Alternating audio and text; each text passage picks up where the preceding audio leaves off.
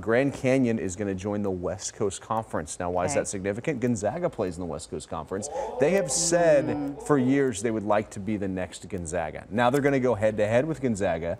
I assume it's, the schedule hasn't come out yet because it's it's not next year. They have to play in the uh, in the Western Athletic Conference one Oh, more really? year. Oh, really? Okay. Yes, but then after that, you, that Gonzaga and Grand Canyon game will be circled on the calendar and will be a big event for us on the Extra Point, which you can watch every night right here at 10:35 on Ah, look at Arizona's. Family, the Valley's only night local sports show. Yeah. Oh my goodness. So collegiate sports getting a Yes. shakeup, and of course, our sons will right. be watching that. Yes. So yeah, busy. Getting a lot Yeah. What else can? It's only what 12:05. So 12:05. we We can't wait to see it. what else happens. Thank you day. very Yeah. much, Yep. much, Mark, for Yep. breaking that down for us.